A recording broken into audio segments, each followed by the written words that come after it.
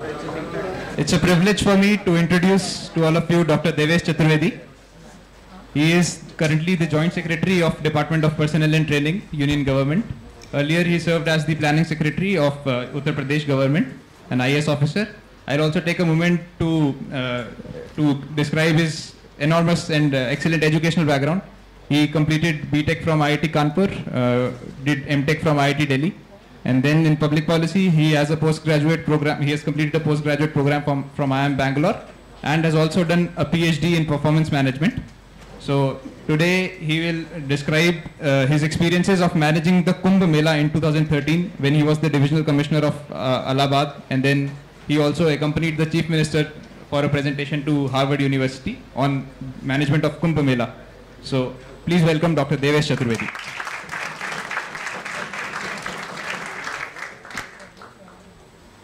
Am I audible? It's okay? Okay. Uh, just, just wanted to know how many of you are not at all comfortable with Hindi? Okay, fine. So I'll put 99% English and maybe 1 or 2% Hindi there. So basically what I'll do is, uh, first of all, I would like to thank the organizers, the Vision India for giving me an opportunity to share this experience of uh, managing the Kumbh Mela, which was one of the mega, mega events which we managed in UP in 2013.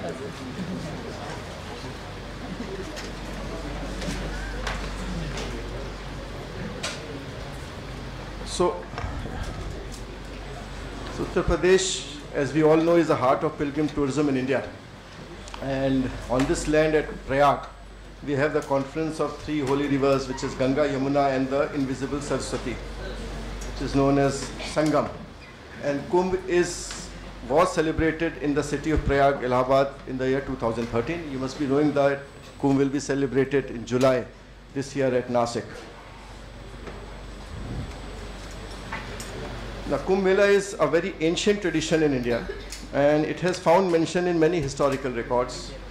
Uh, Hiuen Tsang, who is the famous Chinese traveler who visited India in around 8th century, 7th century, and uh, the, the reign of Harshavardhan, and he gave a detailed eyewitness account of the Kumbh.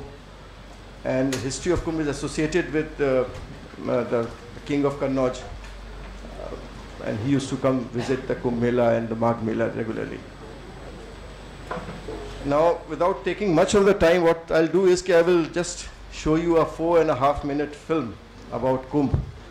So, of course, it's a film made by the state government of the Kumbh was over and uh, it will have a little bit of political uh, rhetoric. So my only request is you just discount the political rhetoric part of it and concentrate in getting what was all about, what is the mythology and all those things.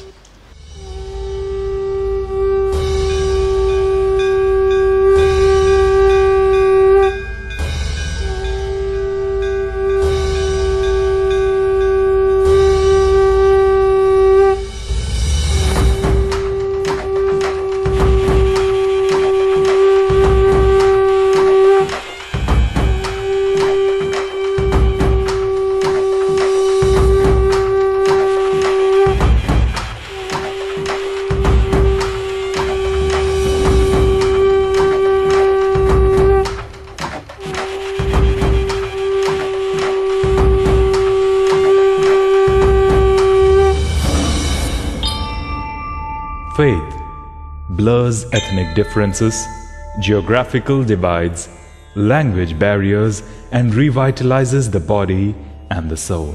It has always been a divide of the good and the bad. The divide is manifested in Hinduism, world's third largest religion, followed by over 870 million around the world in a legendary battle where hundreds of Hindu gods fought the evil forces over a pitcher of nectar that brought vitality and immortality. As they churned an ocean of milk during the Samudra Manthan, few drops fell at four places on earth down below.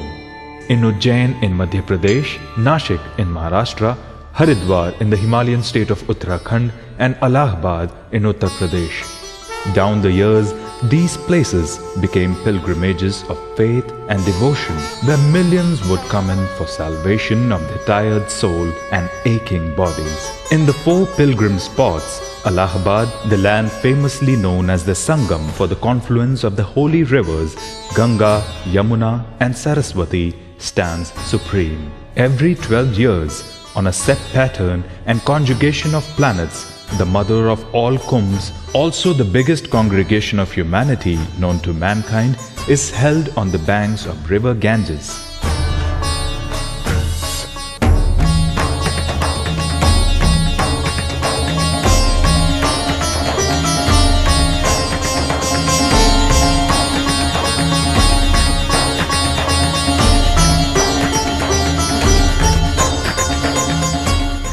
Every aspect of human lifespan is woven around the river birth, death, and rebirth.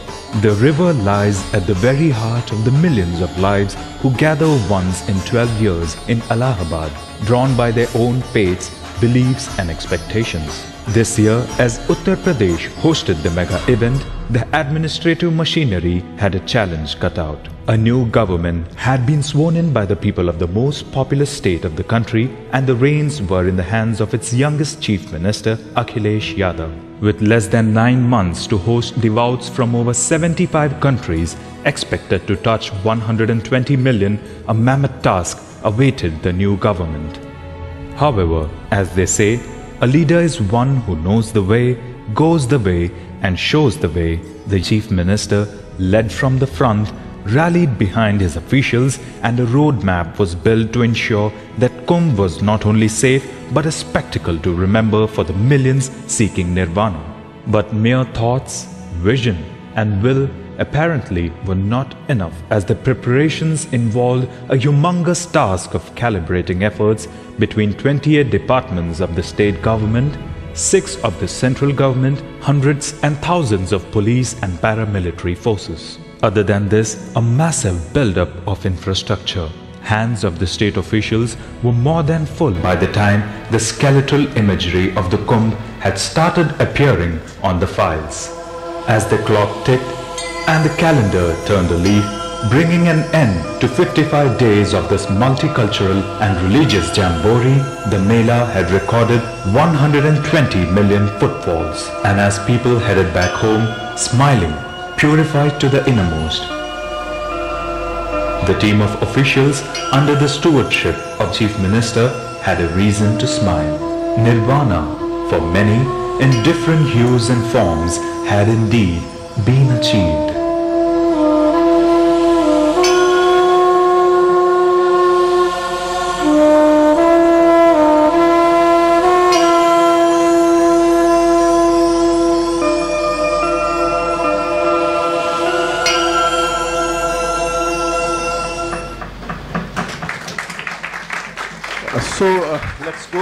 This journey, the journey which transformed the serene banks into a hustling, bustling city which lived for 55 days and left its mark on millions of pilgrims. And a city where on one day for the auspicious Mauni Amavasya Snan, which was on 10th of February, we witnessed the largest gathering of humanity in the world in one place ever in the history of mankind, which has been recorded in the Guinness Book of World Record also.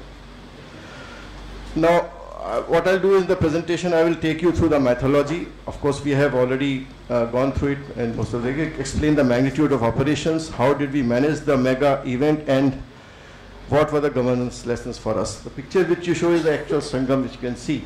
The blue part is the Yamuna, which is a cleaner river and the muddy part is the Ganga, which is, of course, has more flow. That's why it is sort of entered into Yamuna and then this flows northwards. In this it is upwards, but actually it is eastwards uh, as Ganga. So though people do their snans on the banks, but actual Sangam is on the river and you can see a thin line of, uh, it's basically the boats which are reaching there for the real Sangam snan. So the Mela area, now the layout we'll discuss the Mela area was available only after the monsoons receded, that is in September. And uh, see, the bed of uh, river Ganga is about two and a half to three kilometers broad. So the river meanders and it changes its course every, every year. Year to year the course changes. So once it stabilizes the course, then only we can plan the layout of the city, which has to be developed.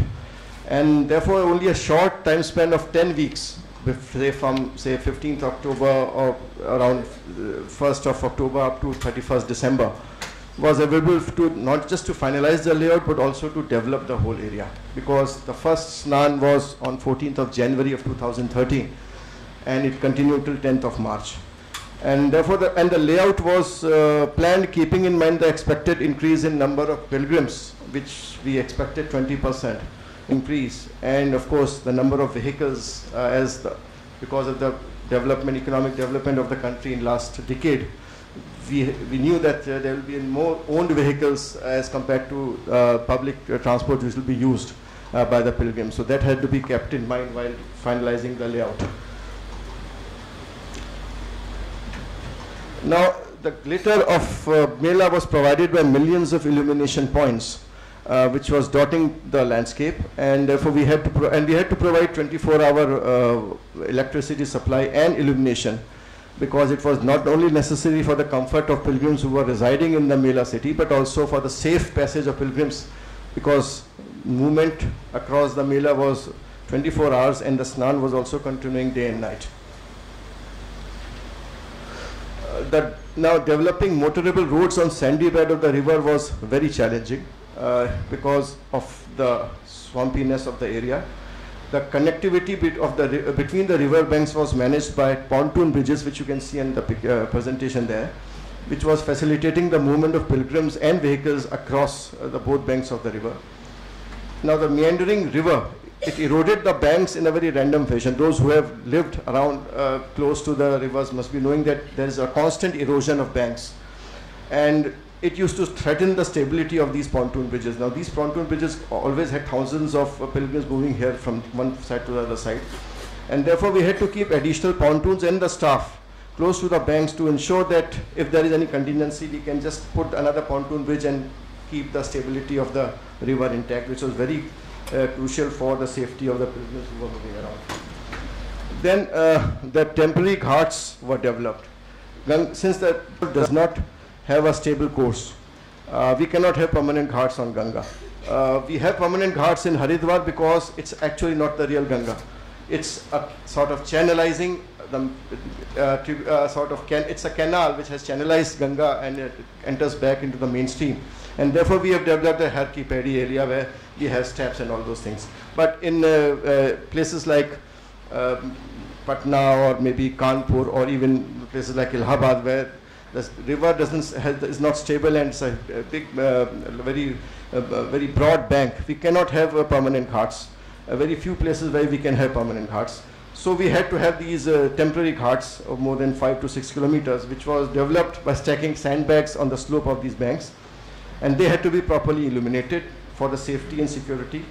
Then we had to have change room facilities for women because they have to, to take a bath and change their clothes before moving out and that had to be ensured. And then we had again to undertake continuously monitor and undertake anti-erosion measures on the river banks so that adequate bathing space with safe depth is available. So what you can see here is a typical situation where we have the sandbags, uh, uh, stairs of sandbags where pilgrims are taking, uh, coming inside.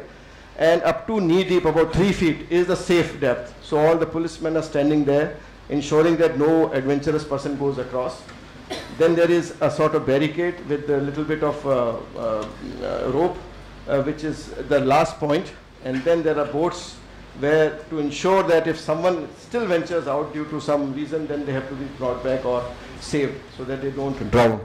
So this is the sort of uh, uh, situation arrangement which has to be run across the banks of the Ganga mainly. And these special trained policemen uh, with life-saving equipment are working around the clock when the uh, snan was going on. Then managing the quality and quantity of water was very critical. As you know, uh, this uh, issue is very critical and very close to the hearts of all the spiritual leaders and even the pilgrims who come. And so three-fold strategy was adopted because we knew that if, if the river doesn't have adequate water and it, the water is not of reasonable quality, we can't uh, have a very, very pure water in Ganga because of various reasons. And we still are struggling, and we are struggling to have this sort of situation even today. Uh, but we have to ensure that at least those 55 days we have this sort of uh, uh, adequate and uh, available water. So there were three strategies which were adopted. One was that we were monitoring the effluent discharge of the polluting units upstream of the rivers. So there were 600 upstream polluting units uh, right from Uttarakhand down to UP and up to uh, Allahabad, uh, which uh, were basically distilleries, tanneries and other allied industries. And we had to ensure that either they run their sewage treatment plant, effluent treatment plant properly or uh, they were, would, there, there was a sort of ponding done if they don't uh, have the STPs properly functioning. But that effluent would not enter the river for those 55 days. Then uh, special efforts were made uh, to complete the STPs of Allahabad city before the start of Mela to ensure that at least the sewage of Allahabad city doesn't enter upstream, uh, uh, upstream of uh, the rivers. And then we had, because most of the, as you know, that water has become a commercial entity now. And Tehri Dam has all the stored water and they have Uh, competing usages of water. Irrigation, it could be irrigation, it could be power plant, it could be some other function. So just to leave the water, this commercial entity just for the pilgrims to take a bath down the stream is something which at least Tehri Dam will never like to do. But then we had to ensure that this happens. And some additional water had to be, about 2,500 cusec water had to be discharged to ensure that that uh, it reaches, it dilutes the, uh, the river water, existing river water and in, improves the quality. So these three strategies had to be adopted to ensure that uh, we are able to satisfy the seers and saints uh, while they undertake this holy day in the, at Sangam. Then uh, we had uh, essential supplies were something which were very important. We had developed 46 tube wells in the river bed uh, to provide the safe drinking water. And uh, then there was a full system of public distribution system uh, uh, uh, established to provide good quality and reasonably priced basic food items through the, this PDS. And what you are seeing here, uh, in fact, if you go to any such Kumbh you will not find a lot of commercial shops of, uh, uh, of eatables uh, there because uh, what, uh, what is happening is that such bhandaras, you can call them annakshetras or bhandaras, which continue to provide uh, uh, free meals as prasad. So it's a, it's a, it's a prasad which is given to anybody who enters and uh, sits in any of these ashrams or the institute camps which is going on. And uh, so people used to come there and eat and then do whatever they want. Uh, it is said that a person can come penniless in Kumbh Mela and do whatever they want in terms of pilgrimage and go back because most of the things are available free of cost apart from the government but even from the private sector. This is all private sector so we are only providing them subsidized food items and they are then preparing it and uh, giving it to most of the pilgrims at different places. Then of course the uh, health was uh, very important. Health of the pilgrims was very important. And uh, free of cost medical services had to be provided. It was a commitment of the government. And we also had provision for alternate medicines such as homeopathy and Ayurveda uh, to have this concept of Ayush uh, because pilgrims coming had a faith on all these two, these two systems of medicine also. And, and we had ambulances and river ambulances placed in each sector and each river at the river front for immediate ac- uh, access to healthcare facilities. So what you can see here is the main snan day where you can see the type of rush where a policeman has literally stand on the barricade to regulate the crowd. And then there is an ambulance who is evacuating from the, the emergency uh, route, which is uh, basically uh, something which we don't allow the pilgrims to enter in normal days. So this is sort of scenario in uh, Kumbh Mela when the main bathing dates are, uh, uh, main bathing is going on. Then what we did was that uh, this was something which was appreciated by most of the pilgrims uh, across the strata of the society which who entered Kumbh that uh, the cleanliness and the hygiene was something which was uh, uh, which was uh, some, and it, in fact it was very sarcastically said what we don't get in urban city we use we experienced in people experienced in Kumbh. So first time zero discharge toilets were introduced in the Mela in a large scale Uh, now these toilets, as you know, are there are two technologies. One is uh, developed by IIT Kanpur, and one is developed by DRDO, where the, the waste is converted. The water is uh, separated, which is recycled for flushing, and the waste, the bacteria acts on the waste to convert it into methane, water vapor, carbon dioxide, and there is negligible waste, solid waste, which remains. So it doesn't require any sort of uh, mm, uh, sewerage system. So that was uh, introduced, which was fairly successful. Uh, then there was an effective system of uh, removal of solid waste with uh, these sanitation workers. And uh, what we did, a small innovation, was that, uh, which is we see in many of the hotels also and big corporate houses, that names of sanitation workers and supervisors were displayed in the public toilets with the mobile numbers. Now that ensured the accountability of these people because this sort of toilets were continuously being used by the pilgrims uh, staying there and they had to be kept clean and without any clogging. So if there was any issue, immediately the name of the person was known, who are the responsible, responsible, name of the supervisor, so they can be called by anybody. So that was something which was appreciated a lot in Kumbh Mela during uh, that 55 day uh, uh, duration event. Now, policemen uh, deployed in the Mela, you can understand 10,000 policemen, and they were all from different establishments. Like there were central paramilitary forces, the state paramilitary forces, then there were policemen coming from different districts uh, in the Mela. Now, they had to be integrated into an operational team. Now, that is a big challenge in such events because, as it is, uh, in most of the organizations, units will send their worst employees to the Mela because they don't want to sacrifice their own uh, performance. तो सबसे खराब लोगों को भेज दो send the people and then the, pe- those who are deputed to Mela are themselves disgruntled because they have to live in tents for three four months away from the family. So initially they are very disgruntled. Later on they become uh, soaked into the atmosphere of Kumbh, but initially they are very disgruntled. So now they come there and they have to perform as a single unit to ensure the crowd control. And that is a real challenge of leadership, of management. And then they have to be integrated uh, through training and then on and off job interactions, connecting with them regularly, communicating with them. It's, it's a big teamwork, uh, leadership and teamwork exercise. And this is not just with the police, but with this also with all the organizations like the health team or the sanitation team where they have to be gelled together to work as a single unit. Uh, then, of course, uh, securing the Kumbh uh, for because it's a, it's a huge crowd uh, uh, is coming, uh, uh, and it's a very emotionally charged and religiously charged atmosphere. And there were terror threats. It was a big challenge. In fact, if you recall that on uh, 10th February was the main uh, snan, and 9th of February, Afzal Guru was hanged.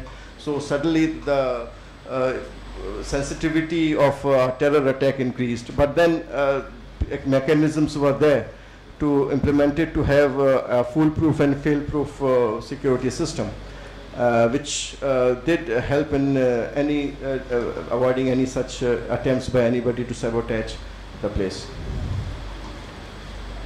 Uh, of course, we had this uh, issue of uh, sustainable, uh, uh, clean uh, Ganga, uh, clean Kumbh and green Kumbh, which was uh, implemented with the help of a lot of civil society and religious. Uh, uh, there was a Ganga Action Parivar of uh, Rishikesh, which spearheaded this uh, system. And uh, what we did was uh, we limited the use of polythene, and even the Honorable High Court was quite. Uh, uh, they took the leadership by banning, taking actions against uh, various, uh, taking some remedial or giving some orders which strengthened the district administration. And then a lot of innovative strategies were implemented to ensure that it is free of polythene, the whole area is free of polythene. We also requested through various channels, communication channels, that uh, the, uh, the people, the pilgrims don't offer any uh, sort of of, some artificial offerings in the Ganga. There is a typical tendency to offer flowers, offer various uh, offerings which are of different kinds uh, uh, as a part of the worship. So we requested them not to do it or minimize it. So that all helps in helped in at least keeping the the whole area clean despite millions taking the bath and undertaking various uh, times of uh, worship and using the place for uh, for uh, even the uh, area for various uh, uh, activities. Now this was just to show the uh, uh, give the glimpse of mammoth task of organizing such an event, which uh, uh, uh, the previous slides. And now you will agree that such a huge task required a lot of planning and then a lot of management was uh, project management and conflict management, stakeholder management, all those principles which generally you use in theory, actually one uh, implemented or the theories emerge from implementation in actual sense, all these theories which come out. So uh, now what I'll do in the next section, I'll take you through the key aspects of our planning and management which helped us in uh, at least managing this uh, event. So forecasting uh, the number of visitors. First was, uh, in fact, that was very the first thing which had to be done because the infrastructure requirement had to be assessed based, based on this forecasting. Now that was, as I have mentioned earlier, based on the past records, the socio-economic and demographic trends.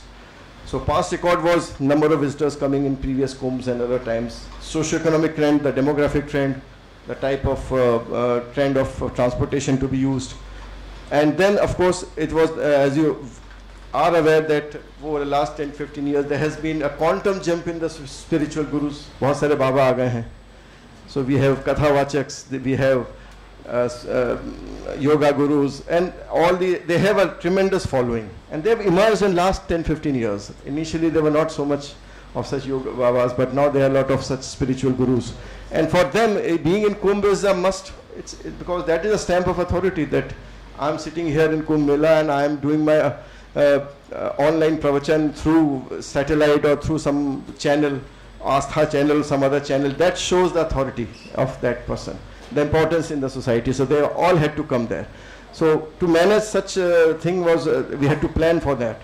So uh, the Mela area, now this is very important that the Mela area, which was about 56 square kilometer area, that was notified as a separate district. So there was a district of Allahabad and there was a district of uh, the Mela district, which had completely separate administrative setup with a separate district magistrate, SSP, line departments and everybody, separate thanas, uh, hospitals, everything, which we have seen. So that uh, was uh, created and then there was a main district magistrate which was supporting the Mela.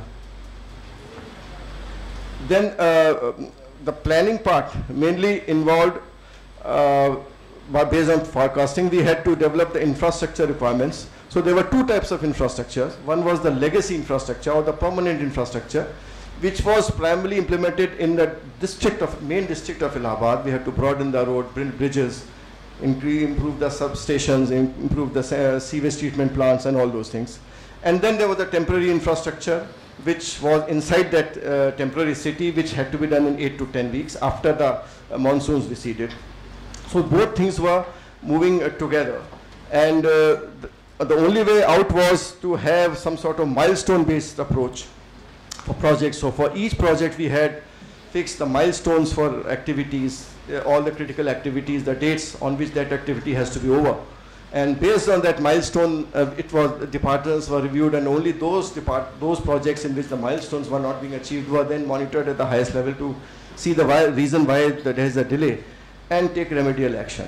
So that was a very simple but effective way of uh, monitoring projects. Of course, you could have a very high project monitoring systems also in place, but uh, we thought that this is the most practical and uh, simple way that we can do it, and it was done uh, fairly effectively to complete the projects in time. Then uh, once the planning was over and the, uh, they had to be put in implementation, and it was there that there was a lot of unforeseen situations. For example, the monsoons got delayed in 2013. Instead of getting over around 10th September, it continued till 25th September. So again, there was a problem that the plains remained flooded for a week or 10 days more.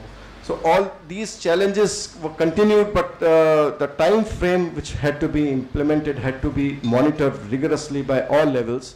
And uh, on the other hand, while this was going on, the, the service providers who were the first point of contact with the pilgrims were also getting trained in behavioral. So we were training the porters, the coolies of the station, the taxi walas, the, the auto rickshaw, uh, the, uh, even uh, some uh, the home guards and the police for, on behavioral changes so that they could work as a guide also and also be polite because we all knew that the people coming here are all, all different classes but if they are polite then many unforeseen situations can be sort of uh, avoided, uh, which, which can create problems. then uh, finally, when uh, the things were over by 31st December, then the, efforts were put to the litmus test when the Mela kicked off in January, in the first bathing date of Makar Sankranti, which was sort of a smaller version of the ma ma uh, major um, uh, efforts which had to be done later. And then this actual management during the event involved day-to-day -day operations uh, and problem solving. And it was like a civic management of a city having a large population in a very limited space. So there were about 1 million people staying in this area, a small a 20 square kilometer area. 1 million people staying and the millions coming into it so, and every day going back after taking bath. So huge floating population and a very sizable number of people actually staying in tented areas doing their kalpvas uh, for 28, 29 days, 30 days and or maybe few days, 4 days, 5 days doing their vapshe going back. So it was a, a very, very uh, intensely uh, mm, uh, very high pressure operational situation which was going on. And each day was a new experience throwing new problems and which had to be managed. managed. And it was many times managed with negotiation, many times with a little bit of persuasion or, and maybe at, at times regulations. But that was continuing.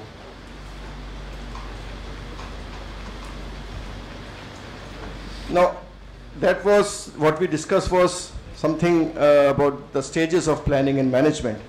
And there were a lot of things which was going behind the scenes which didn't come out, uh, which we had to be undertaken while the operations were going on. And the machinery worked tirelessly around the clock to ensure that operations are smooth and without any hiccups.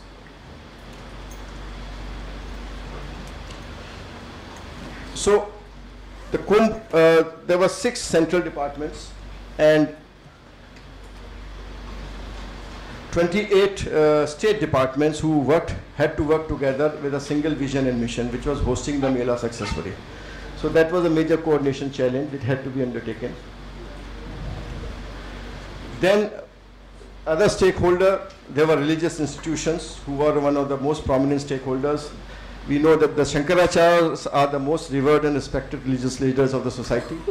And there was a point in which one of the Shankaracharyas threatened to boycott uh, the the Kumbh Mela and we had to really work very hard to pacify uh, the, uh, the Honorable Shankaracharya and uh, the followers to ensure that uh, that sort of situation doesn't happen. Then there were 13 akharas. Now these akharas are the ancient uh, sects of uh, Hinduism which are there and basically they were created at various points of time. And, and they were, as the name suggests, the militant wing of uh, Hindus initially, but now that militancy is not there. It's more, uh, it's more demonstrative. Uh, it's more um, ceremonial than actual. Uh, but there is a Shaiva akharas, there are Vaishnava akharas, then there are other akharas, and they have the internal conflicts with each uh, each, each other.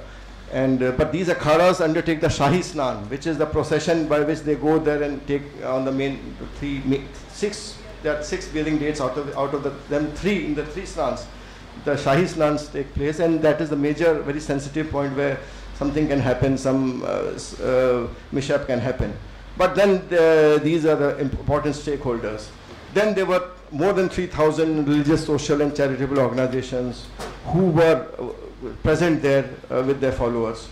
So, taking all these groups with varied interest and often conflicting interest, was a real task for all us, all of us, and we had to work together to ensure that the flock remains together and the conflict situation doesn't go out of hand.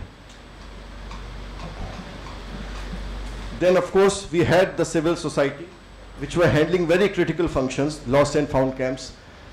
As you know that we have so many Hindi films uh, based on Kumbh Mela where the, the brothers were lost in Kumbh Mela and then they came back after 30 years. But actually it happens.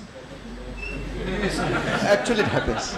And in fact, a record suggests 2,25,000 people were re reunited. Of course, some uh, unity took place in one to two hours also, up to maybe 24 hours or 48 hours. So, because it, it, it the situation is such that people come in uh, herds, they start doing the to do the uh, bathing, and then when, once they go back, come back, they suddenly every place looks the same. The whole ghats look similar, so they lose their way. The children lose their way, old um, uh, old ladies lose their way. And then they come to the control room and they on the main stand you will find hundreds of such people standing there with, uh, with crying and shivering because even their clothes are not there because they've come out with the bath, taking a bath with wet clothes and they don't, don't find their clothes also because they've lost their way. So they're shivering in, in, in the winters. So we have to provide them uh, proper clothing, we have to provide them uh, blankets, keep them for one or two days till the find they are able to find uh, the, the kith and kin who have actually left, uh, left them, uh, not deliberately, but many times it was deliberately also. in fact, there, was there were two incidents. One incident in which uh, the uh, daughter-in-law left the mother-in-law. so she found that this is the best way to have peace in the house for a few days till time she comes back. But then we sort of uh, no, were not. Uh, she was a bit disappointed when uh, mother-in-law came back too early. So, but then this activity is actually done by the civil society with the help of police and administration. Then pilgrim guides, uh, NCC scouts, all these people are uh, involved in uh, this sort of activity. Shelter homes for these lost and found, the, the, lost people who have lost their way, provide them food and healthcare. So th there's a lot of voluntary work going on. The whole Annakshetra and Bhandaras, which I talked, was purely voluntary action. It is based, it's, it's, it's free. Of course, there are people who are rich who give a lot of donations to these organizations by which it works. But then the poor person can go there, eat, and come back and continue. So there is no price involved, no cost involved. Then, of course, pilgrims uh, across 75 countries which came. Uh, many of them were religious. For, relig for uh, as a pilgrim, then there were media coverage, travel writers, then, of course, research. Uh, Harvard University sent about 40, 40, 45 researchers who continued, stayed there to undertake a lot of research. So the variety of pilgrims we had to take care of all, including the VIPs who had a separate sets of demand. We had to take care of their VIPs also.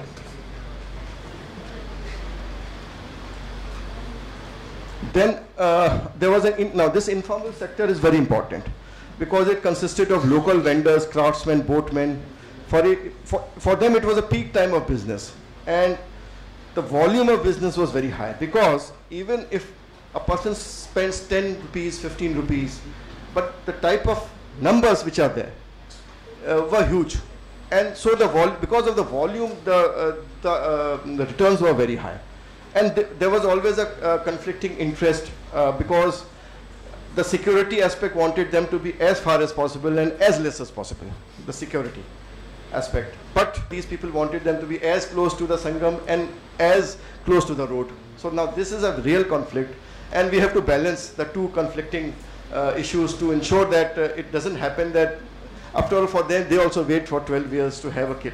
Uh, if you can you understand the type of thing, a boat, a boat which takes the, see as I've shown you the, the real Sangam is on the river.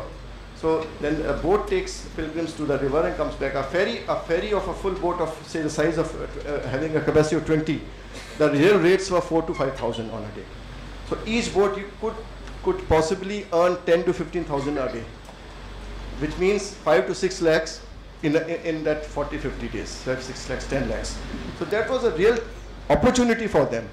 The pandas or the prayagwals, which are called, who actually do the, all the worshipping, they get a lot of uh, earning which sustains them for next five to six years. So all these people are real stakeholders and if we don't, if we don't consider them as an important stakeholders, they will create a, they will vitiate the atmosphere. So everyone has to be taken together, include ensuring that the security doesn't get compromised. So these are, these are the challenges which uh, uh, actually uh, are thrown up in such religious events.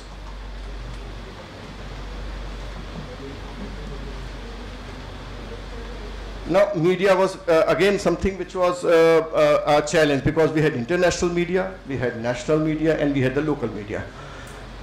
Normally, what happens is that in, uh, if you have dealt with media, it is the local media which is the real problem, and it is the international media which is the most sober. But here it was the reverse. It was the local media who was following all the all the directions, but it was the international media who were doing all sorts of uh, They used to, what they used to do, they used to come with the camp. See, uh, it's, it's very clearly, media, uh, the issue is we cannot take photographs of the bathing ghats. It's a, there is a law, there is a High Court order because it is to prevent nudity, to ensure that religious sentiments are not uh, affected. So there have been such controversies. So all the local and national media used to remain behind and ensure that that is followed. But you see the situation here. It is just reverse. It is all the in- international and national media, which is, and then the sadhus with nude sadhus. Now sadhus have also changed their attitudes. Earlier, these Naga sadhus used to be very angry if someone to take, took a photograph. They used to feel very offensive. But now they are posing. So there has been a change in attitude also of uh, religious leaders. They have become more sa- uh, um, uh, media savvy, and so the photographers also break all the rules and come enter. So, but managing them is very important. 2,300 registrations uh, with huge uh, uh, media coverage across the world. So, but the, what was the shared vision of all of us? It was uh, to ensure a safe, secure, and comfortable stay, and more cha- uh, challenging to amalgamate technology and tradition in a seamless manner. That was the real issue, real challenge, because we had to ensure the sanctity of the Mela, but also address to the technological developments. So, as we have uh, uh, discussed the stakeholders, substantial time of Mela administration was spent that the beh- behind the story what I have uh, discussed earlier uh, uh, highlighted. It was managing these stakeholders in order to conduct the various events in a seamless way. And there were consultations, negotiations and persuasion.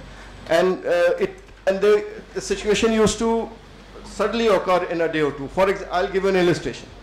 Suddenly there was a phone call to me and it said uh, "Buka, मैं जितेंद्र कपूर बोल रहा हूँ तो first I couldn't understand who is Jitendra Kapoor then he said कि आपको मालूम होगा Jitendra the film actor मैं कहा yes sir I know now I can recognise कहता है, बट मेरी बेटी एकता कपूर आएगी और वो एक फ़िल्म है, उसका प्रमोशन करना है। उसको आप ज़रा मदद कर दीजिएगा. तो हमने कहा, साहब, मैं आई विल तो then then it came to know that the film was Ek Thi Daayan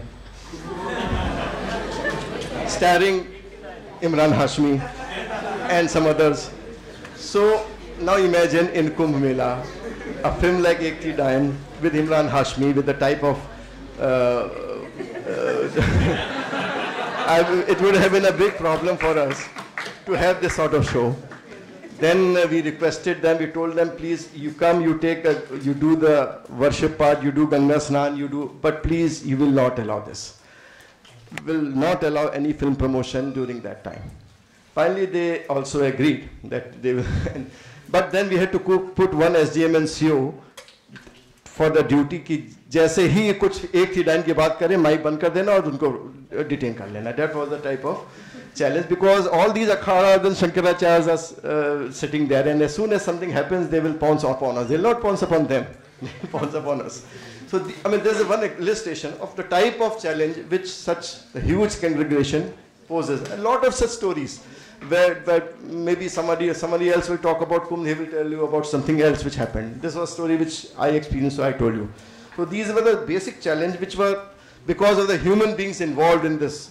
Uh, we had this uh, human issues coming and we had to resolve this to ensure that nothing untoward happens. Uh, then uh, issue was that we discussed about uh, gelling as a unit. So every member was made to realize of the team Kum that Mela was his or her personal as well as official responsibility. And more importantly, each member was assured that if the act is done in good faith and right spirit, it will be supported by the government. Now this is very critical. See, high, high volume operations, every person is standing there, whether it's a deputy SP or deputy um, or uh, SDM or maybe inspector or someone else They have to take some decisions which may involve some operational aspects or maybe financial aspects. कि भाई ये दलदल है जल्दी से इसको भरो something is wrong here please uh, change the uh, way regulate the way this way now they if they, we don't empower them to take that decision at that time it will be very difficult to manage from the top so we have to empower them and im- with empowerment we have to ensure that tomorrow no one questions them if that sort of decision was taken and if that sort of confidence is not there at the lowest level then you will find that those people will not take decision they will wait for the higher orders and if they wait for the higher orders it is a sure short case for disaster The sure shot case for disaster. So basic in public policy and, and managing such operation, we have, there's no way out but to empower them and also to protect them. If something goes wrong and something happens, we have to protect them, we have to protect them, saying that it was an error of judgment, it is nothing, there was no malafide. And we know that in such a situation, there will hardly be any malafide in, uh, because everybody is in a very stressful. So this was the sort of message which was sent right from the chief minister down to uh, lowest level. In fact, everybody, uh, if you remember, there was this railway station tragedy in the mid of the Mela. And everybody was so stressed. And uh, it was, uh, the administration was a villain at that point of time. But then it was the right from the top, the chief minister down the line, who gave this message that no, everybody has worked very hard. It's not, we, no one wanted this to happen. But it has happened, Unfortunate. Let there be an inquiry to find what, what was wrong. But please con let continue. We have to complete this. There are a lot of challenges to come. So unless that sort of uh, backing of the from the top level down is not there, it is very difficult for the system to work as a team and to deliver even in challenging circumstances. So that was very critical, and uh, I will say I will praise uh, our leadership and political leadership that they did this for uh, uh throughout this event, which helped us all. And then uh, this was uh, how to do it. Now, what is the what is the way out? It is the role of the last mile worker, because the, as we have said, it is a last mile person who is responsible, and he can be he can make or mar the system. So we have to share all the strategies. We have to discuss all the strategies, and if some good suggestions comes from that last mile worker, uh, then it, it, that feedback can lead to a lot of improvements in the system and this happened. Actually most of the small small innovations which happened during the operations were actually suggested by all those operational level workers who who um, who actually were seeing this seeing the problem and then they used to come back with us get this is the best way for example there are two three examples what was realized that uh, that uh, when this lost and found thing used to happen, there was a centralized public address system. Now, whenever the person got lost, then uh, some one person from the administration would announce the name and announce the uh, detail of the person and, the, uh, and, and also announce the kith and kin who would be searching. Then it was realized that there is a huge problem of accent, understanding. So then the innovation was taken. Someone said कि साहब उसी को क्यों bolne dete jo bhul gaya ya है या So that worked because then when the person used to speak uh, in a, maybe a Bhojpuri dialect or maybe a Western UP dialect or in a Braj Bhasha or maybe in a South Indian dialect, then the दूसरे आदमी को पहचान जाता है ना, वो आज कह रही है तो हमारी लड़की है, या हमारा लड़का है, या हमारी बहन है। So it was easier and then because जिस तरह से वो दुखी होके रो के बोल रही थी तो डेस्परेशन बढ़ जाता है, जल्दी पहुंचो। So both ways it work so that was an innovation created given by one of the workers down the line की सब ऐसे करते और वेरी सिंपल ये जो लॉस्ट एंड फाउंड का था कि जब निकल के आते थे, सब एक साल लगता था। तो किसने कहा कि why don't you simple have flags with different colors or different numbers on the pole? And then educate the visitors that if you come you just tell the people after three hours we'll meet on this number flag number or flag with uh, some sort of um, uh, uh, um, which is some sort of striking feature so that helped in reassembling of uh, the, the groups after they have gone and if in case someone has lost their way they can then reassemble after seeing the number. So those were very very small innovations which may now may look very easy, very small things but as we have said that it is said that uh, there is a difference between easy and simple. Something easy, something simple may not be easy.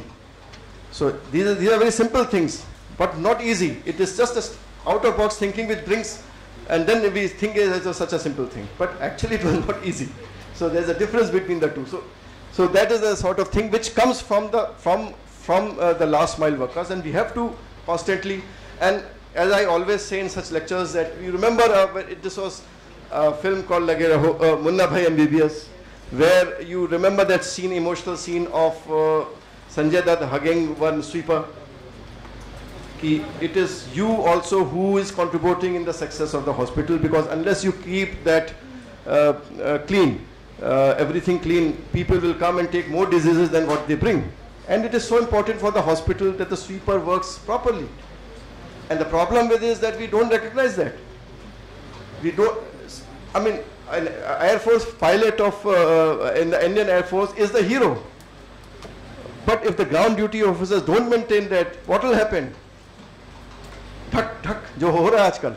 MiG-29, Jaguar going down. So the effectiveness of the pilot depends on them also.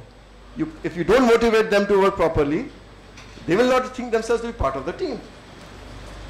So for, it, that's true for public policy, that is true for corporate sector, that's true for everybody. It's, it's the contribution by each and every member down the line which is very important. We also, आप जाइए किसी clerk के पास अपने अ, मुझको मैं जब गया था पीएचडी करने आईआईटी दिल्ली में तो मेरे गाइड ने कहा था कि जो जो कागज़ मिले सरकार से आईआईटी से सब संभाल के रखना पता नहीं कितने साल बाद डिग्री देने से पहले वो कागज़ मांग लें आपसे don't depend don't think that this is a very efficient system in this. Your teaching may be very efficient. Your professor may be excellent. You may be excellent. But the system which supports you may not be. And you may be facing this sort of problems day in day out. Because whether their your vision and their vision is it coming together or not at any point of time that is important. So that last mile worker that's why it went more because this is very important in such mega operations. And then uh, it was led to inculcating of values and so we had to ensure that those who were stickler to rules reluctant to change they were trained to become facilitators innovators and delivery persons and then they excelled at the field level and actually help in assuring that very untoward situations may not arise because of their own initiatives. So that was very important and very strategically undertaken during, and that was the role of the leadership and the senior management. And other is, very important, and here I will again dwell a little bit more, and that is having a, establishing a single chain of command. Now this is very important. Actually, it, many times it is absent, and this was very much true when uh, in the Commonwealth Games, where we didn't know who is actually in command. We had Delhi government, we had Lieutenant Governor, we had the organizing committee, we had the Ministry of Sports. So four, five power centers with not a. So what was the result? Everybody worked, but somehow the net result was that projects were not complete. Pro- the athletes were coming and the village was not complete, stadium was not complete. So the issue was single line of command is very critical in at least in public policy. It's there in corporate sector in, in such sector there is a single line of command, but here and as soon as the single line of command breaks, there is a problem as it happened in railway station where uh, the, there was not a single line of command between between the district administration and the railway and the GRP and the RPF. So it was a point where it broke and there, there was a problem. So this, so the single line of command was had to be established where appraisal the, all the performance appraisal, all government employees who came from outside, it was to be done by the Mela Adhikari and the divisional commissioner or the IG police as the case may be. So they knew that they were accountable. It's not that they've come here for three, four months and can go back without doing work and no one will ask them. So they had all those administrative controls were put below this uh, the, the the command line to ensure that everybody is accountable and they also feel that uh, they also view that the, this vision has to be fulfilled.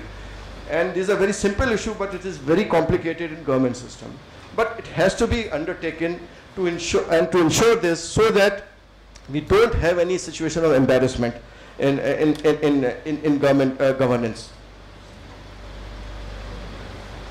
And for uh, for the security, for terror, and all those things, we had uh, multiple strategies. So multiple strategy was that we have visible high proof uh, profile security like what we see in the horses and also unobtrusive security measures. Both had to be there. We can't just do with unobtrusive ki hum technology se sab sambhal lenge. No, in Indian conditions we can't. We have to have unobtrusive technology based surveillance and all those things. Also, we have to have a high profile visible security so that there is a deterrence eh, which is seen uh, that, that man, sakti hai bhai yahan kuch karo. So both had to be there, both had to be combined together uh, to ensure that uh, the area is secure. Communication channel had to be used, so this was what you're seeing here is a 30, uh, um, uh, uh, th um, you can say 30 line exchange, uh, uh, call center manned by police group uh, people in the control room, assisted by the departments also. So all, uh, it was had a unique number of 1946, which could be, which was publicized everywhere. And any, any person who has any grievance or any issue could phone here and get the relief immediately. So that was effectively uh, done. And then CCTV cameras were, of course, used as early warning system for the incoming because what we had to do was with the incoming crowds and the outgoing. We have to ensure that the incoming crowds is never more than the outgoing because if that is the case then there will be clogging and there will be stampede or something like that. So if at all it happens that the outgoing is less and incoming is more, then we have to divert the incoming crowd for a longer route, maybe for three to four kilometers long some ways, so that while that by the time they come back, the outgoing increases and then it is a balance. So the people many times used to say कि अब संगम तो एक आधा kilometre दूर है आप हमको उल्टा क्यों ले जा रहे हैं इसलिए ले जा रहे हैं because we have to regulate those people they have they have to move around uh, some part circuitous part so that once they come back in half an hour 45 minutes 50 minutes we could manage the outgoing evacuate them so that was the real uh, crowd control challenge and uh, that had to be undertaken through communication system regulation and all those things and again, the issue is that the communication channel was there, but there were cannot could not be a use of force. That means only a whistle. That is all that the policemen will have, and they have to regulate. So it was always the communication would always start from a, on a positive note by assuring that we are, if you are here, we will ensure that you have a safe bath, and then if a request is made with folded hands, then even all the pilgrims used to comply. तो हम लोग को हाथ जोड़ के ही crowd control. We have to control the crowd by persuasion and by request only, because any use of force will lead to stampede and killings of many people. So that was the that was the crux of the matter, and that by God's grace we were able to do in the Mela area. Of course, this has, uh, we have already told that uh, specially trained uh, policemen stood for hours in chill water to ensure safety of bathers. There were lifeguards who were in place. Then in the, uh, the last portion of management, of course, is the project management. As we have discussed, there were four stages in project management. One is creating permanent structures. Then we have to create temporary structures and uh, uh, then manage the operations and finally the dismantling after that. So these all four stages of project management had to be uh, implemented in, in, in, in, in a very professional way and with a strict timelines. And just a picture of uh, how it was, uh, how the projects were completed. The legacy works commenced from May 2012 and the temporary works in October 2012. The last date for completion of all the legacy infrastructure was fixed as 30th of November and for temporary works as 31st of Dec- December. So eight months for the permanent projects and about two and a half months for the temporary projects. Now these, that was the time frame and all the milestones, including the tendering, finalizing each, each stage of a civil work, uh, lintel, so many days, uh, um, uh, the roof so many days, first floor, second floor, electrification, everything, all those milestones had to be back calculated and fixed and then systems monitored accordingly. And then very critical issue in government is to coordinate multiple agencies who are working in engineering departments. And this uh, is a problem, as I mentioned in the slide, that there are departments which I term as, uh, we term as road builders, the PWD, NHAI, municipalities, and then there are departments which are road diggers, like the Jal Nigam, Electricity Board, BSNL. So, so they, they, their work involves digging of roads, but and, and, it is such a perfect timing that as their project uh, schedule will be such that as soon as the road builder builds the road, their project implementation will start and they will start digging the road. And you must have observed in your localities that this actually happens in many times. So a good work done, supposedly good work done, money spent, suddenly you find someone ek kudal leke khodna shuru kar diya. So the, the real issue is to coordinate between the two to ensure that that the schedule of road diggers comes first so that they complete their work and then the road is built. So these are very, very critical issues which you have to ensure that the project developed lasts long and there is no uh, expenditure. And then this is very important issue, again in public policy, it is performance budgeting. And what we call no dearth of money syndrome. Now what is this? This is something which was commented by uh, V.K. Shunglu committee during the Commonwealth Games. They said that government departments follow have this syndrome that wherever there is some mega project of national importance, there is a tendency of implementing agency to inflate the budget and include superfluous works. So what they said was, it is always, to economize is considered criminal and to splurge is considered civil. Now that becomes a tendency because the whole system is contractor driven, not driven by public interest. So that's what, so what we have to ensure, and that leads to a lot of controversy and a lot of incomplete projects. So, and there is, why is this tendency? Because the tendency is there many times so that if a, pro a project, like if a project becomes a Kumbh project, the, uh, uh, the funding will be very fast. They will be able to get the funds on priority. भाई कुंभ project है, कुंभ project के लिए कुछ नहीं रुकना CWG का project है, पैसा देना है, है ना? You, you saw that lot of such projects in Commonwealth Games were run which were actually not required. They had nothing to do with the vision of Commonwealth Games, but they were there. They were there to ensure that someone interest uh, of getting that project done was there. And that is the first thing, to, so that the priority, it gets the priority, getting funding. Second, because the time frame is small, so the appraisal is also very superficial. भाई कुछ भी रख दो जल्दी जल्दी हो जाएगा then tendering is also superficial. Hafte one mein tendering 10 days 5 days 3 days short tender. So all these things help the people who have a vested interest in getting some financial pecuniary benefits out of it. So that sort of tendency is there in such mega projects which are in running in a very short time frame where the budget is, uh, uh, where the government says that budget will not be a problem. So what, as, as, as a public servant, as public servant, uh, it's our bounden duty to ensure that such tendencies are curbed.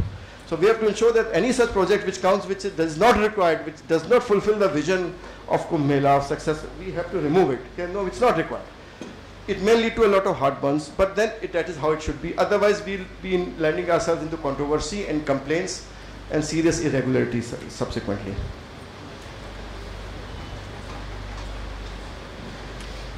And then, after the event was concluded successfully, we had to, the temporary infrastructure had to be dismantled and reused.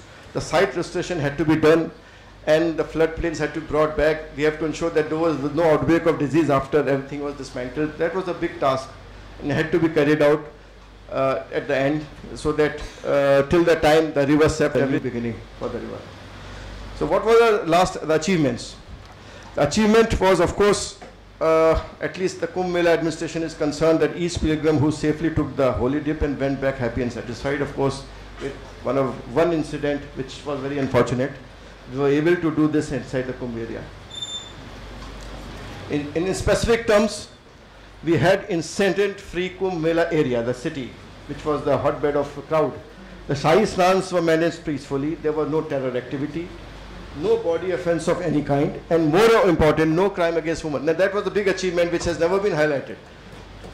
Because you, 16th of December, the Nirbhaya Kand, that issue was very much live, women security. We have from 14th January, lakhs of pilgrims, women, children, ladies coming, staying there, taking the bath. Any small incident of such uh, would have led to a lot of, uh, not just a sort of uh, uh, controversy, but a bad name to our society, to our administration, to the governance. Fortunately, due to the efforts and due to God's grace, we were able to ensure that there was no uh, crime against women. There was no epidemic breakout. 225,000 lost persons uh, uh, were reunited and only one case of drowning which took place. And then, of course, uh, the, lot of visitors, akharas, and prominent spiritual leaders conveyed the appreciation. There were some positive reviews by renowned personalities. Some of the examples are here. And Harvard University developed a case study. It's a business HBR case study, uh, which they have developed for their own educational uh, academic purposes. And we were also called there to present the case. Uh, we, the delegation was led by the chief minister. They have developed case study and a full volume book on. They have researched more than us. In fact, they'll be knowing more than us after some time about Kumbh and managing the Kumbh. And last is, of course, the lessons. Now, the lessons is that uh, we have the issue of the expertise at four places of managing Kumbh operations. Now, we have such uh, similar pilgrim destinations across the country, having high volume footfalls. We have ecologically fragile locations. We, we, have, we know that what happened in Kedarnath, where the hotels and buildings just fell like pack of cards with that economic disaster, uh, with, uh, uh, with this disaster. Do we need such permanent structures at places which, which have seasonal uh, footfalls or this model of tented colony with, you can have five star luxury to the lowest budget accommodation. Can't this be a model for such places which is more ecologically uh, uh, uh, balanced and maybe it leads to more sustainable tourism. That is an issue which is, I feel it is important. Similarly at, at national, uh, the parks, we know what happens when uh, the resorts are developed around national parks, wildlife parks. We have those uh, tiger, those what we call that corridors, natural corridors being blocked. And then there's a problem there's a problem with the conflict between the animal and the man. Why should we have permanent resorts there, which work for a few days and with all the luxuries? Why can't we have just eco-trend colonies, luxurious colonies which can come and come back without disturbing the ecology? So these are important issues which, which where the experience of managing such operations can be used in an altogether different situation. The SOPs are available. And interestingly, it is very cost effective. I mean, this was just a simple calculation. We spent 1300 crores in managing Kumbh, out of which 900 crore was the legacy infrastructure, about 900 crores. 400 crores was the temporary infrastructure. Im imagining that for 55 days, about 1 million person, uh, 10 lakh person stayed, you just divide it, you comes to $1 per day with free electricity 24 hour, with free water supply, all policing, roads, everything. A very economical, sustainable model uh, of uh, for developing such uh, temporary cities at important locations which have high volume but seasonal footfalls you, could be due to um, tourism, religious tourism, pilgrim tourism. But somehow these lessons learnt are not so much replicated uh, elsewhere as they are replicated in such a situation. And in the last, I will just say uh, that I will conclude with the quote that you start with a vision, an idea you feel is impossible, but you work at it and become convinced that it is achievable, and finally, with passion, you know it is inevitable. So that is the message for all of you who are aspiring public policy leaders. That's it. Thank you.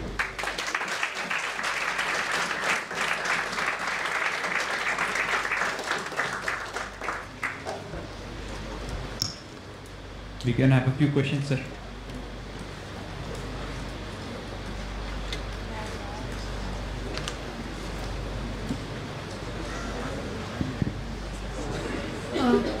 Sir, uh, light on.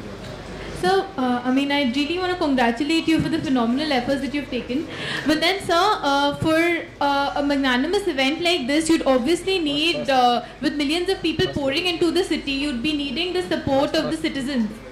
So, uh, like, how did the government reach across to the citizens for any change in their behavior or any contingency mechanisms that they might have to adopt, like in the course of these 50-some days? And the second thing is that, uh, like, you, you've spoken about a linear chain of command, which is extremely essential. So how do you choose the people for, uh, I mean, the top leadership and then who delegates the responsibilities? That these are the guys who are there in the top leadership. Yeah, as I've told you, uh, uh I just touched upon it, the civil society, but of course, it was uh, uh, each citizen of Allahabad, irrespective of the religion and caste and creed were involved in managing it. And in fact, they, uh, they also feel a sense of pride to be involved in contribute some way or the other. And many such contributions which we knew but they were not recorded and were not appreciated.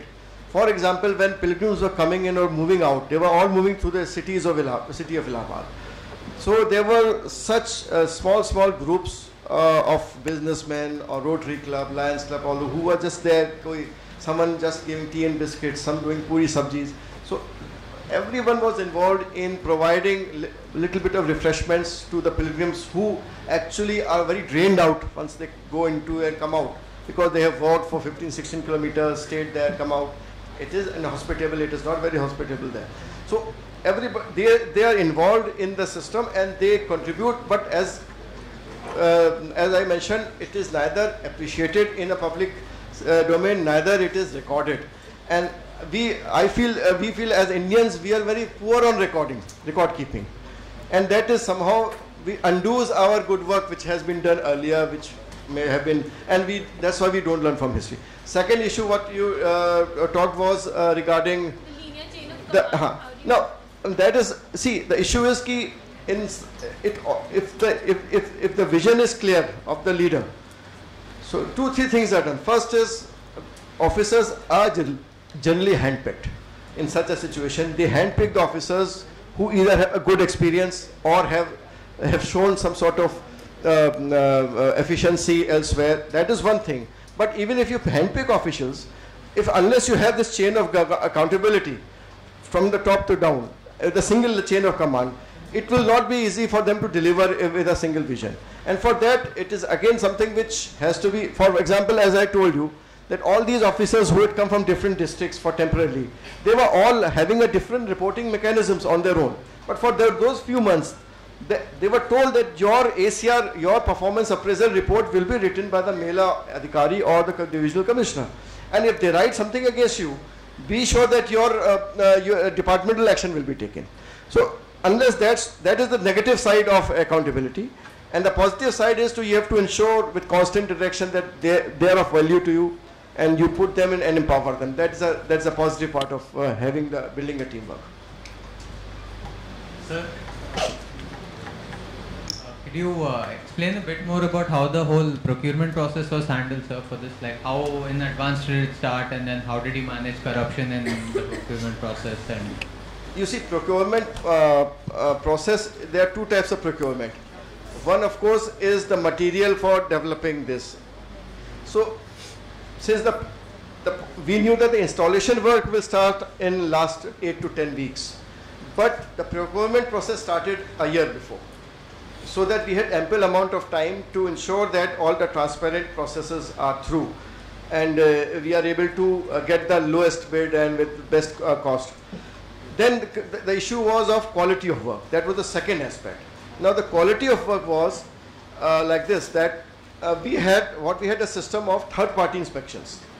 So what we, uh, so the engineering work which was going on, uh, we engaged uh, the local MNIIT, that was the Motilal Nehru National Institute of Technology. That was the only technological institute available, the closest, uh, so that they can efficiently do it.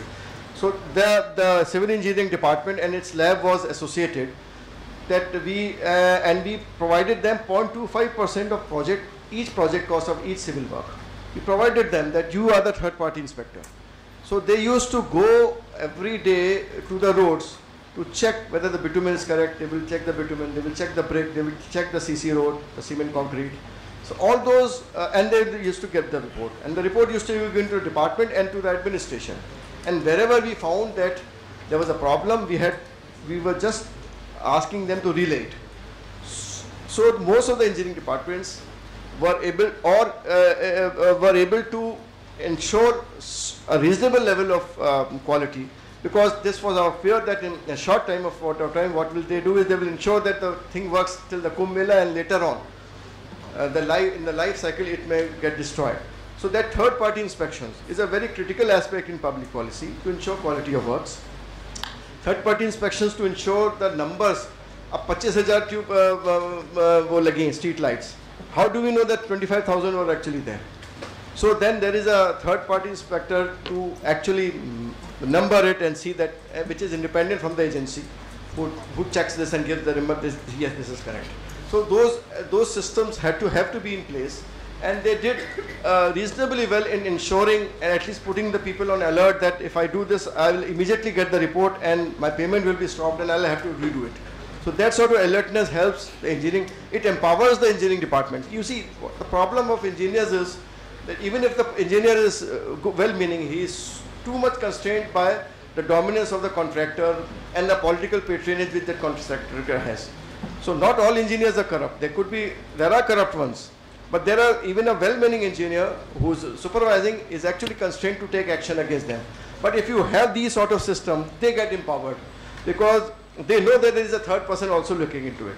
So the message goes down the line. So that these are the two issues.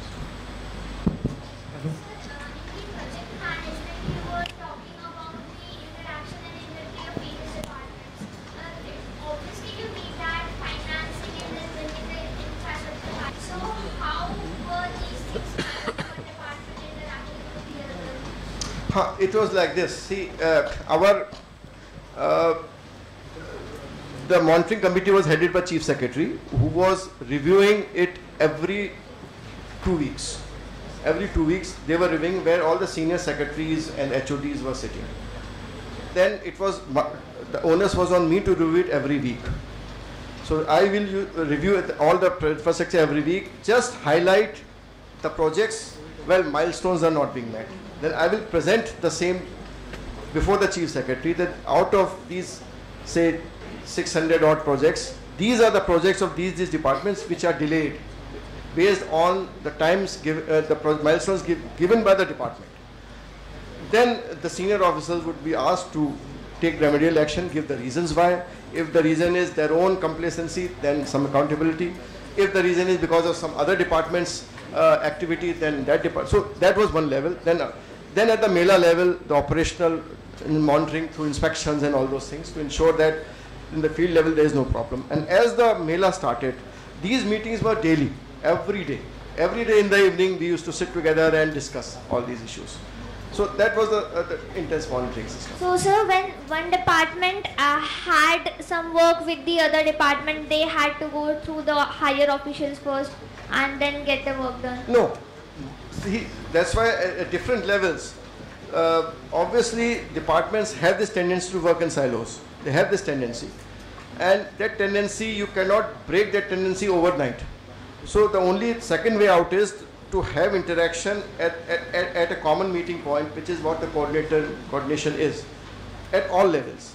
So down to the uh, Mela was had 14 sectors. So at the sector level, there was a coordination of the grassroots level workers then at the district level, Mela Adhikari, and then at the divisional level us, and at the state level.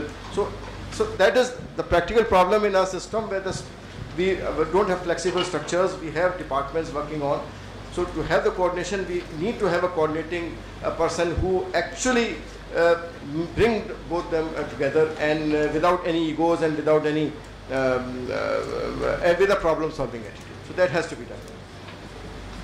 Sir, Sir, regarding unchecked, the food zones where millions of people eat daily. So uh, there are two questions. First, how the hygiene, how the hy how the hygiene part of these outlets were maintained for such a long duration, and second, very importantly, how the security part, that is, some unwanted elements do not deliberately put something dangerous in the cooking centers. So for you know monitoring all these things for such a long time and 24/7. I think that becomes very difficult. How this is managed? See, as far as the hygiene is concerned, of course, uh, the weather helps. It's a winter. So had this the same thing been in happening in summer and those days, obviously food will go bad uh, early, so that's more challenging. So winter helps, but we had four food inspectors deployed there, which were actually going there checking the food quality uh, of these big akhadas and kshetras, and also of restaurant to ensure that no stale food is being given uh, or being provided to uh, the to the for the followers. That was one. And as far as the second aspect is concerned, obviously it is it is it is something which the each and akhada person has. We we had briefing and training sessions of all these organizers of these camps. We discussed all aspects of counter-terror strategies. Uh, who is suspicious person, how to ensure that suspicious person is not there, what to see while making food, how to keep safe. So there were a lot of briefing done of these people to on basic practices which have to be followed to ensure that nothing of such happens. There are the two strategies. Uh, I wanted to ask you more about how garbage was dealt with throughout this entire event? Because you mentioned that um, you talked about minimal use of polythene. How did you make sure that that was put into effect? Like, how was waste managed after? Was waste actually recycled? Um, and what did you find in terms of how much garbage was generated? How much of it was actually plastic? Just like a sense of, because you're talking about sustainable, making it sustainable, so sustainable practices. So I wanted to get a better Yeah, uh, it's like that. uh, There were f- a lot of first thing was that uh, what what we meant was by zero polythene was that uh, all the shops which were which were allowed licensed, they were told not to have plastic bags uh, as carry bags, and that was strictly implemented. Number one. Number two, what we did was as it was um, a, a strategy, uh, we involved the schools of Allahabad initially uh, in this uh, in this uh, impact where we asked them to uh, donate one cloth uh, bag of cloth made by used paper used their home clothes so each student donated one bag so there were about 60 70000 80000 bags and then we uh, sort of as a gesture provided it to the pilgrims that please use this in bringing your groceries every day don't use plastic bags so it was a gesture which created a lot of environment building against polythene bags then the third aspect was regarding the solid waste management.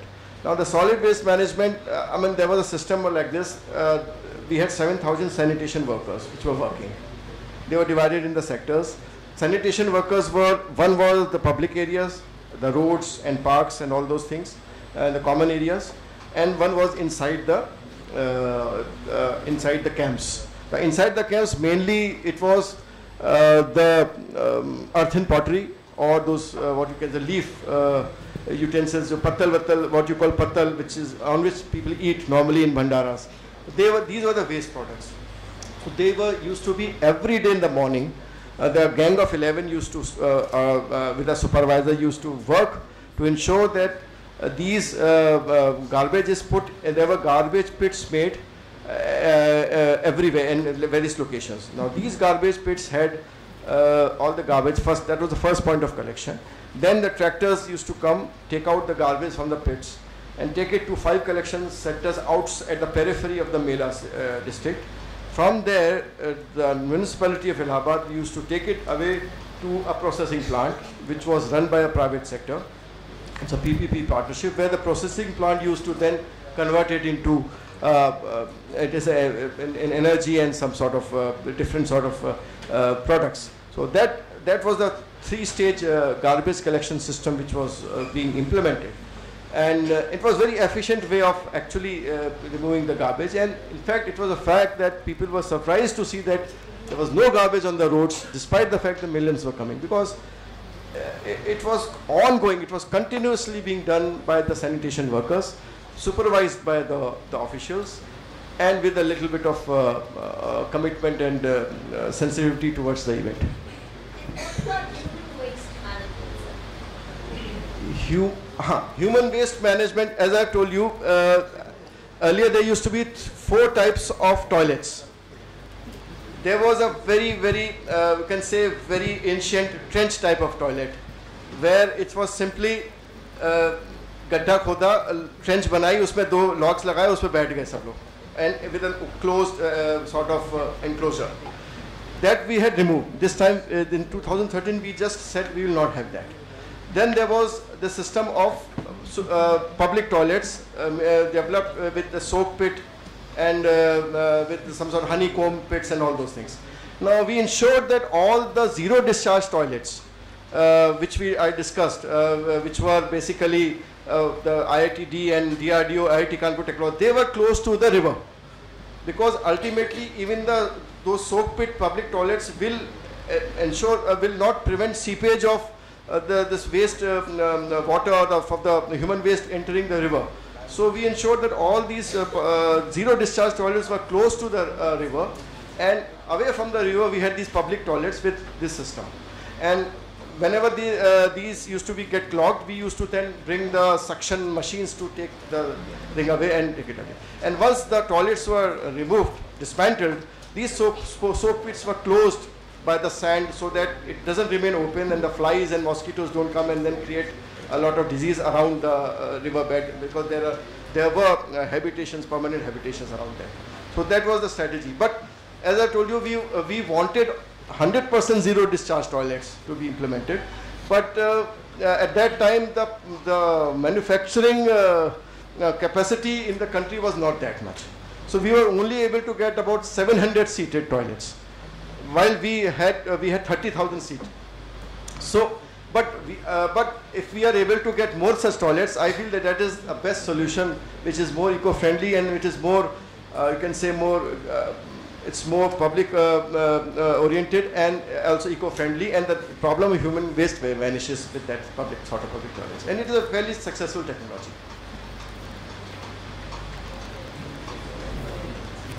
Uh, sir, I'm Anu from Uttar Pradesh. I was wondering whether you can uh, you can help me with two things that are, that are on my mind right now. One thing, what is the wha- what's uh, what the current status in, uh, of UP? I mean, uh, when it comes to law and order. When I come back and talk to uh, vendors and you know auto and auto rickshaw walas and everything, I mean, I mean, situation is not very satisfactory. What I what I learned from him. I mean, I have not been able to follow Akhilesh Yadav. I mean, because I stay in Delhi. But but you have been an active part of the whole uh, main administration of UP. So could you please uh, help us to know that thing, and also if you can connect that uh, with something that if someone wanted to work with that law and order problem, uh, what issues uh, that one should take up? Uh, I mean, I will. It's a. It's, it's, this will be something like a political um, uh, commentary on a political system, which but I, I will rather discuss it separately than in a public forum, which Sure, uh, sure. will be going Thank against you. my conduct rules. huh? Yeah. Yeah, hi. So this waste management bit seems very good. Why is it that we are not able to do it on a regular basis? Is it that you know everything is going on in mission mode and there's so much focus, or is it that we just don't have a plan to do that in a regular way? You know, this entire sanitation and waste management. You said there is a good, there was a good plan, right? To, Huh. uh, Yeah, uh, On a it's day-to-day actually basis. it's that's the real issue that once you are having a, a operation situation which is, in which the vision is clear, it's a mission mode. Obviously, things are. It, it's not that uh, the uh, heavy resources were pumped in. I mean, that number of sanitation workers are there even in a generic, uh, pub, uh, in, in a civic area which we have. But some, but I feel that sense of commitment towards the, this particular aspect. Number one, commitment of different uh, different levels of uh, the administrative machinery. That somehow I feel feel is a bit lacking, and unless we have that sort of uh, each individual person is committed towards. Uh, uh, um, uh, the whole uh, uh, system, or, or, or it is forced to be committed that way. I mean, we can't, if we can't make him committed in this, because this was a place where there was a little bit of pride involved, there was a little bit of uh, shraddha involved. There was, everybody was working there with, they had this respect towards uh, the, the holy river and the Kumbh. So that did play a part in everybody being, uh, being a bit committed towards it. Uh, but maybe when it comes to, uh, I mean, when it comes to uh, the normal day to day, we then we start thinking in different uh, different lines. Self interests uh, uh, come, and then we have uh, the indiscipline, the corruption part playing more place. When when it comes into a, sense of pride or something like that. But I still feel that if there is a commitment uh, from the political leadership and the administrative leadership at the top, to have the things done properly, this is not a difficult task. It is it is very simple task. And second, the issue is key accessibility to the people. That the communication with the people. If we if if this machinery is accessible to the people, because that is how your you'll get one gets the input about what is going on wrong, what is going on uh, good, what is bad. But somehow the accessibility of the officials, I mean, in the municipalities or the development authorities, is so poor. It is so poor as if they are not meant for public service. It, it seems that they are not meant for uh, the people. They are sim- sitting somewhere. Chota sa, if you have to put little small work done, unless you are in a person of authority or influence, it becomes extremely difficult to get that work done in a system. Saaf karani ho, ye karana ho. You have to catch someone to get this done. Now, I mean, I can say, I can say that, for example, I give you a very sim- simple, like I, stay in Delhi in a government colony, and the system of CPWD of complaint redressal is very efficient. I give a complaint, I get it attended within 24 days,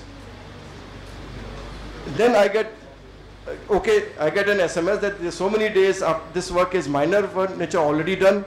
this work is of major nature, it will take so many days. And as soon as the work is done, I get a phone call that politely asking a feedback whether your work has been done or not. Now, if as a government servant, if I am uh, allowed that privilege, why not a common citizen? Why not a common citizen? If that sort of system starts working with accountability, uh, then uh, then the, the, the same CPWD, which is a corrupt and inefficient organization, is delivering for me without my going to chief engineer at PWD or, uh, secret, or joint secretary urban development asking them. It is working for me. I have I did not go to any place to have these small small things done. Then why not for the common citizen? That is the whole issue. That commitment. That is accountability. Hello. Yeah, you talk up, you talked about the stampedes there. So in 2013 there were like stampedes every other day. So what were your revival plans slash strategies for it? And the second part is you talked about like the hospital beds. There were like 100 beds per sector. Right? So there were like 14 sectors. So it amounts to like 1400 beds. But in stampedes there were like more more injured people. So how did you account for that? No, you see, in, injured one, and, and, uh, these beds were never uh, occupied, uh, uh, uh, they were not uh, occupied full capacity because these are places, the tented hospitals are more to give the first aid initially. Ultimately, they have to be, these are the, the primary centers, the first, you can say the first sort of attendance is given, medical attendance. And then we had a series of these ambulances which were then evacuated and there was a particular route running across Mela which was not used by pilgrims or anybody. So that was an uh, that was a, a closed uh, barricaded route. The ambulances used to come out from there and then they used to come to the central hospital at, uh, and inside the Mela where these people used to be attended and if required then they used to go to the main hospital or even they could be air flown to, uh, it's, it's more serious than uh, airlifted to some other places. So that was the system being followed as far as medical uh, attendance is concerned. Now, if you talk of uh, uh, uh, the stampede, of course, the stampede happened at the railway station. It was a major unfortunate incident. And I mean, there were a series of actions taken to ensure normalcy. Uh, it will be again a full session to discuss that, so I will not discuss. But the real issue that uh, learning from there was that eh, that is a real challenge in India because we have the center, we have the state, we have the local body. At a place where the single line of command is not there, that is the trouble point. That is first lesson. And we had we had the railways. There were three zones of railways at one place in one district: Northeastern Railway, North Central Railway, Northern Railway to manage that first. Then we have the railway police, the GRP and the state police to manage that. Different, different uh, uh, channels of authority.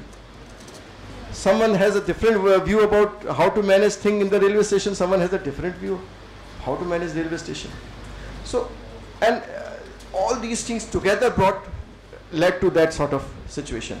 So we have, uh, I mean, when you have this system, you need to have single line of command and secondly, uh, the crowd control is that you cannot stop the crowd anywhere. You have to move, you have to regulate. Regulate means you have to keep the crowd moving in the way you wish. Here, there, वापस घुमा दो, इधर घुमा दो, just turn it. If you stop it somewhere, or if the crowd comes face to face, that is the end of it.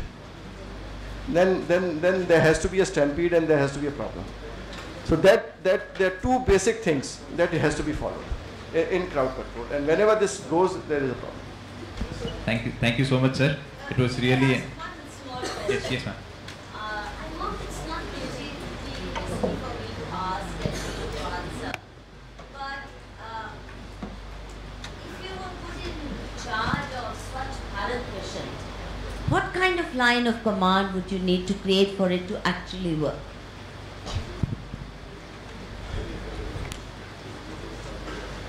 Ma'am, uh, again, it's a issue is that the line of command, the problem in, in the line of command is the first the problem. The issue is that we have local bodies which are fairly independent. So we have mayors who could be politically of different uh, uh, political inclinations as compared to the state government, and then we have the state government, and then we have the central government which is.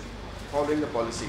So to have the, a chain of command, I feel uh, what, uh, what I my, view is that uh, Swachh Bharat to for Swachh Bharat to run, there there are both there has to be a there somewhere there has to be a universal law like Singapore, where there is a fine for doing something which is uh, uh, ethically wrong, maybe dropping uh, littering or something like which has to be across the country, across the public places, which should be implemented by all local bodies. There has to be a law everywhere so that there is a little bit of कुछ तो हिचकिचाहट हो कुछ तो हिचकिचाहट हो आदमी अगर लिटरिंग कर रहा है कि फाइन हो सकता है एंड इट अभी लिखा रहता है पाँच सौ रुपये जुर्माना and the second and the second aspect is the second aspect of it, uh, is one is that where the citizens get a bit and the second aspect is of course that uh, we need to have the local bodies more accountable if we have provided one of course issue is the funding whenever there is a problem of a political party, uh, uh, a local body, elected local body of a different political leaning than the state government, the only thing which the state government does is starve them of funding. So now that sort of discussion should not be with the state government. That is one second issue. If the local body is responsible for cleaning, then the devolution of funds should not be left at the discretion of any body either center or the state. It has to be going to the state, to a local body without any hindrance. Because this is always a problem that there is a fund crunch. And the third aspect, which again is something what, what is said in the research work is the willingness to pay and willingness to charge People do have willingness to pay, but it is the willingness to charge property, uh, the taxes at the local level, uh, which the political system is not uh, does not have that statesmanship or the vision to have. We are ready to charge someone from outside. कि बाहर की ट्रकों से ले लो toll ले लो बाहर के उससे ये ले लो बट अपने सिटीजन जिससे उसे वोट मिला उससे हम कुछ नहीं लेंगे now that is uh, that is a sort of system in which if we don't do that then uh, then it Uh, for uh, the system to actually become a sustainable manner. This was sustainable because a lot of funds coming from center and the state, but then the local body has to manage funds. So, I mean, that these are my initial thoughts about the whole thing. It is has to be away from political thought. किसके mayor है किसका वो है ये सब नहीं होना चाहिए किसका सभासद है ये नहीं होना चाहिए devolution within local bodies itself there is a lot of uh, uh, a lot of favorism towards uh, the corporators who are of sa- same party than the corporators who are not of the same party. I mean, that sort of arbitrariness. Ultimately, it's the people who suffer, not the corporator who suffers. So that sort of discussion has to be removed, number one.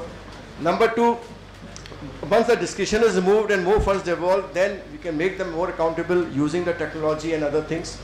And the third is a little bit of more regulation. I mean, we can't allow on one hand, we can't acquire land for developing a developed colony. On the other hand, uh, the builders are take encroaching upon or buying cheaper land from the farmers and developing illegal colonies where there is no sewer, no drainage, nothing. And once that uh, constituency is developed, then they pressurize the government to regularize it. And then regularization means you develop sewer of your own. And till the time that process goes on, all that sewer goes into the river. It's it's not that the Ganga action pl- plan failed because of it failed because it was planned for a particular development. All the STPs and sewer lines were, were planned for a particular scale of development. We have huge undeveloped colonies in the outskirts of all these cities, Kanpur, Allahabad, Banaras, which are having no sewerage, no treatment, and the, everything is flowing very fast. Why people are going there? Because it's it's is a, plot of agricultural land which is just made into plot with 10, 10 feet road and uh, uh, uh, getting cheaper um, from a development authority will have to purchase a land at a higher cost because it's a developed land. From plotting like this, you can get it at one third of the cost. So people go there, buy a plot of land, prepare. And once they make a the building, then the problem starts of clogging and everything. Then they pressurize the political system to get it regularized and then, then everything starts. So till that time, it's all free flow of uh, uh, sewerage water inside the river, which is uh, basically nothing but sewerage water. So these, I mean, uh, there has to be some sort of regulation to to have the check on this. That is also a must. Thank you. Thank you once again.